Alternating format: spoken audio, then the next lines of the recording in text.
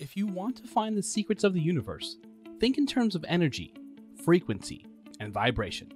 Nikola Tesla. You are not a physical being in the physical universe. You are a vibrational being in a vibrational universe. You are both a transmitter and a receiver of energy. One of the greatest challenges of human being is learning how to live as a vibrational being in a vibrational universe. You naturally attract that which is in harmony with your state of being. Quantum physics state that everything in our universe is energy. You'll see that your body is made of cells. And when you further focus, you will see that your cells are made of tissues, molecules, and atoms. And when you zoom further, you will notice that created atoms and molecules are nothing but energy vibrating at a certain frequency. Our thoughts are energies in vibration too. Your mind is the most powerful tool in the universe because you can change and alter the vibration energy through your thoughts and feelings. You are so much more powerful than you ever imagined. By understanding how to transmit the vibrations of your ideal life, you can fundamentally change the way you experience the world and become aligned with your ideal life. In this video, you will learn some of the most powerful techniques you can use to raise your vibrations right away. Everything is energy, and that's all there is to it. Match the frequency of the reality you want, and you cannot help but get that reality. This is not philosophy, this is physics. Albert Einstein.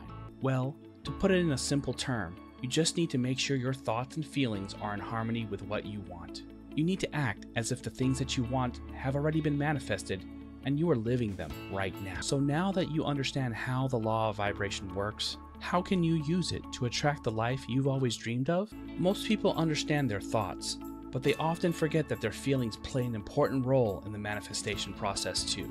You need to feel as if your desire has already been manifested.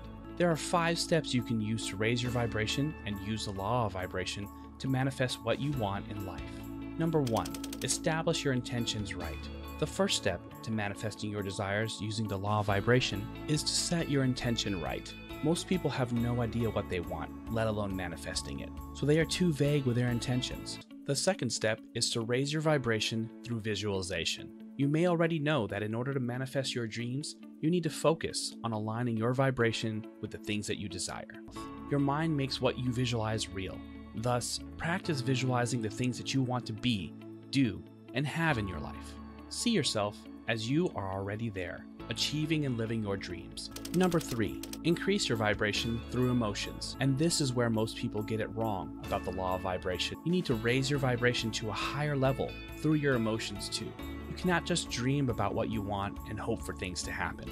You need to feel it with your emotions. For example, do not just visualize what you want. You must associate your emotions and feelings into the process. Feel as if you have achieved your goals and are living your dreams. When you truly believe in something, you will never ever question it. And if you believe, without a shadow of a doubt, that your business is going to succeed, do you think you will work on it? Yes, you will. Most people do not believe that they can achieve their dreams and manifest what they want, and that's why they don't take action. Never let this happen to you. Choose to trust the process and believe in it. Finally, you need to let go and be willing to receive. Consider it as a growing all you do is to make sure you supply suitable soil and expose the plant to sunlight regularly. Can you rush the process by watering the plant for 24 hours? No, you cannot. The same goes for your intent to attract and manifest in your life. You cannot rush the process. Do what you are supposed to do, and then let go and let the universe deliver it to you.